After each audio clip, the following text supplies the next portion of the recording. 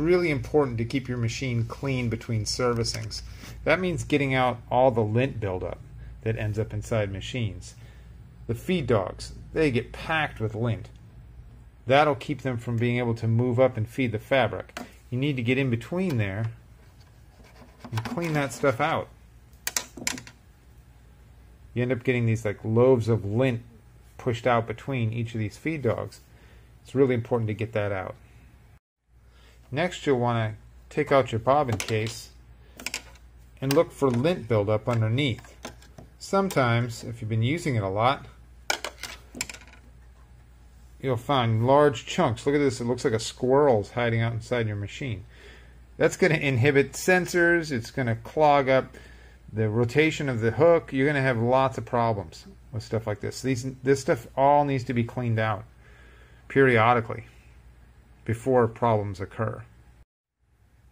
Also, you don't want to use compressed air, canned air, or anything to clean this because you'll end up just blowing the lint back down into the machine, into gears, into bearings, into uh, cams, and it's just going to cause you more problems that you can't get to. And then it'll require you to have service sooner.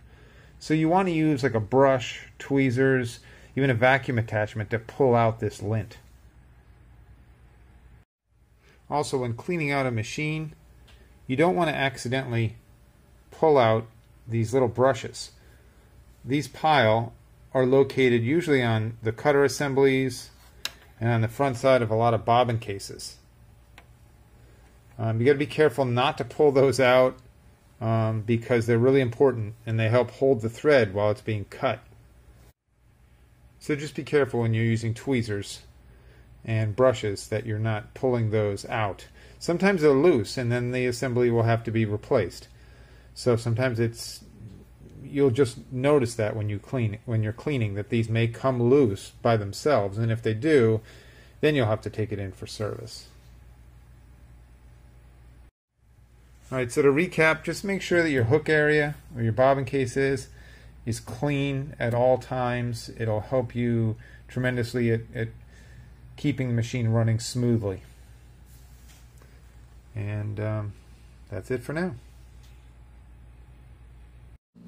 If you liked this video and found it useful, make sure to like the video and subscribe to the channel.